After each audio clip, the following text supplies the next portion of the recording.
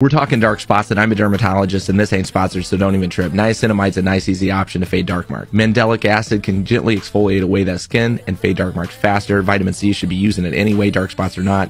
Last two options, tranexamic acid, kojic acid. Give me a follow if you love